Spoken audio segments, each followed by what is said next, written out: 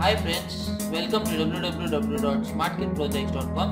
The name of this project is Normal Traffic. Now we have pre-built, uh, I mean coded this traffic signal.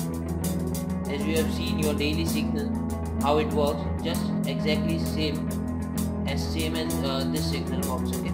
So first I'll tell you the what are the components I have used to make this project.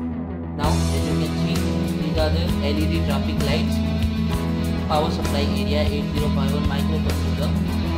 That's it and we have coded to show you how the traffic signal works.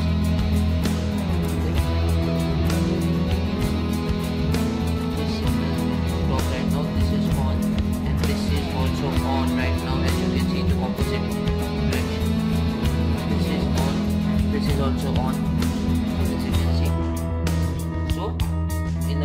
lane when this signal is on for coming and this signal is also on. As you can see I'll show you just when this will start again.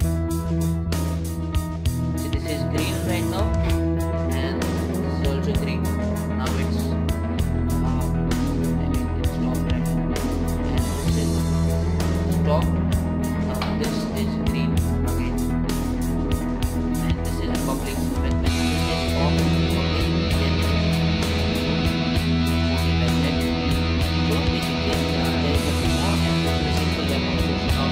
how you come to this Thank you for watching the video. If you like, please subscribe us to Smart Kid.